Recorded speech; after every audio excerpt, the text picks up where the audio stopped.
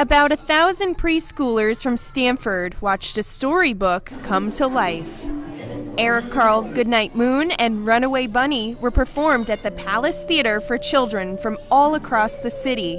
It's part of Stamford School Readiness Foundation, headed by Mayor Michael Pavia, with support of local businesses.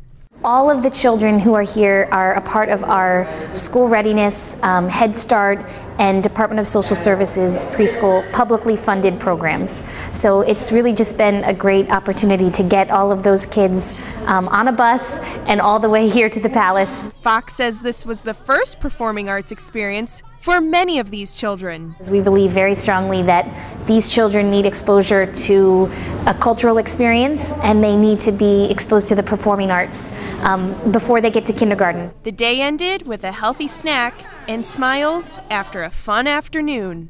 Today, I really believe, is a strong example of collaboration within the city and the community to make something very special happen for children.